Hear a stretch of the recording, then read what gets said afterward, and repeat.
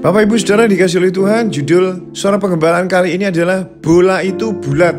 Di dalam Yohanes 3 ayat 16, karena begitu besar kasih Allah akan dunia ini sehingga telah mengaruniakan anaknya yang tunggal supaya setiap orang percaya kepadanya tidak binasa melainkan beroleh hidup yang kekal.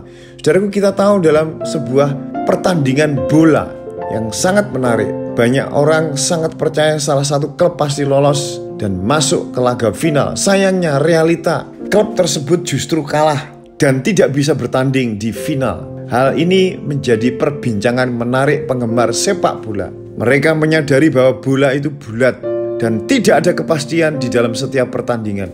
Dalam pertandingan sepak bola tidak ada jaminan satu klub tertentu pasti menang. Sebaliknya dalam hidup orang-orang percaya Allah sendiri yang memberi jaminan keselamatan kepada kita melalui putra tunggalnya Yesus Kristus. Bahkan jaminan hidup yang berkemenangan. Kasih Allah sungguh besar kepada kita orang percaya. Dia memberi kepastian siapa yang percaya kepadanya tidak binasa. Beroleh kehidupan, mewarisi kerajaan Allah, menjadi pemenang, dan seterusnya.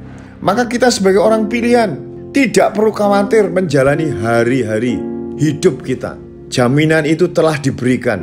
Memang kehidupan tidak selalu mulus, tidak selalu indah, tidak selalu berlimpah berkat, tidak selalu jalan kita bertaburan bunga. Ada kalanya kita akan berada dalam pergumulan, menghadapi masalah berat, kesakitan, ekonomi, keluarga. Namun ada satu hal yang pasti yaitu kasih Allah tetap ada menjamin hidup kita. Kasihnya memberikan kita kekuatan, mengangkat kita dari pergumulan, dan menjamin kita agar kita tidak binasa, melainkan beroleh hidup yang kekal. Tuhan Yesus memberkati.